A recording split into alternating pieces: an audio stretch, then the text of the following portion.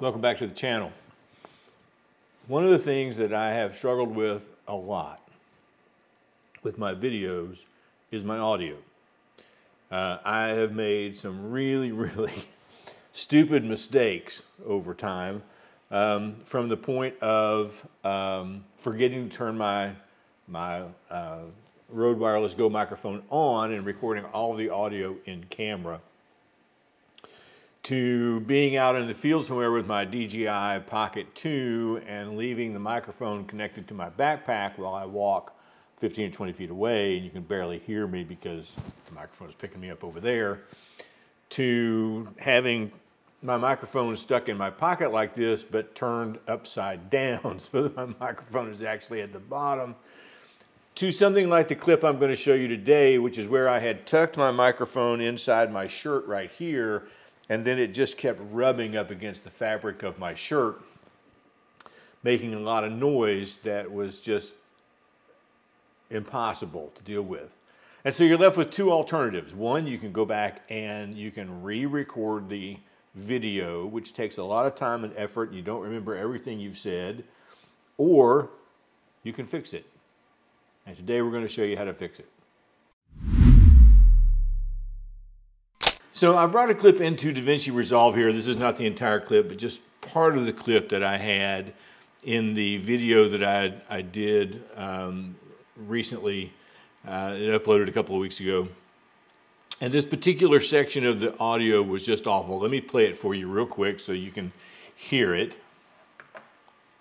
Let's go here to, uh, that's, that's the picture from the Canon R6 Mark II with the 24 to 150 or 24 to 240 millimeter. It was shot at about 150 millimeter. Do you hear that? Do you hear all that scratchy noise? Now, with YouTube videos, about 80% of what keeps people engaged is the audio. And if people are having to listen to this, they're not going to continue to listen. They're going to click off. So the way to fix this, really simple in DaVinci Resolve. So, uh, and, and using a, a, a podcast uh, program by Adobe. So we're going to go over here to, to deliver. And I'm going to scroll all the way over here to audio only. And I'm going to give this a file name. We're going to call this bad audio example. And I'm just going to save it to my desktop real quick. And then we're going to save it just as audio and we'll leave it, we're going to do it as an MP3 file. Okay? I'm going to add that to the render queue. I'm going to render it. Won't take long. There it is. It's done. Now, Obviously, this would take longer with a longer clip, but this is where we are right now. So now I'm going to open up this website, podcast.adobe.com slash enhance. And I'll put a link to this in the description below so that you can find it easily. And so what I'm going to do is I'm going to go here to my desktop.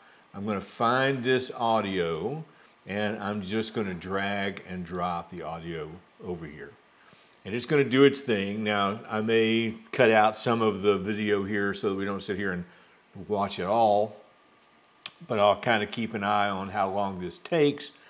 And, and for this one, done. It's done, okay? Now again, if you've got a 15 minute clip, it's going to take a lot longer.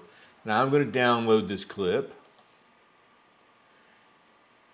And it's downloading into my downloads.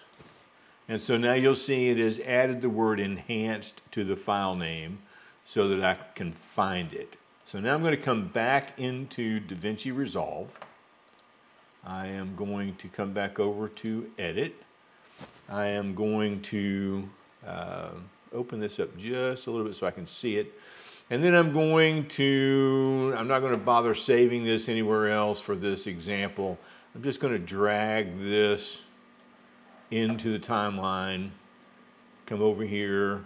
Now they are, for all intents and purposes, the same length, and so they should um, match up just nicely. I'm going to mute the original Uh, audio and let's play it again. That's the picture from the Canon R6 Mark II with the 24 to 150 or 24 to 240 millimeter. Was shot at about 150 millimeter.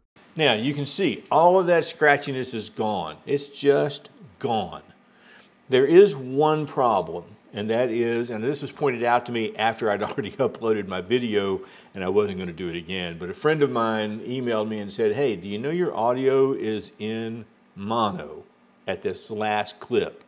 It's stereo all the way through to this last clip. And if you'll notice again, as we're playing this, you'll see over here, audio one is not playing anything. I'm going to actually come up here. I'm going to unlink these two. I'm going to disband that. I'm going to come up here. So now when I play it, whoop, sorry. was shot at about 150 millimeters. It's only playing on the left side. So I want to come, I want to right click here. I want to go to clip attributes under audio and I'm going to change this to stereo. And then I'm going to click so that I have the name of the file showing. Uh, that's then I'm gonna click that's the picture from the Canon R6 Mark II with the 24 to 150 or 24 to 240 millimeter. It was shot at about 150 millimeter. And that's how you fix some bad audio. Uh, and trust me, I have used this now a few times, and it has never failed me. Let me know what you think in the comments. We'll see you next time.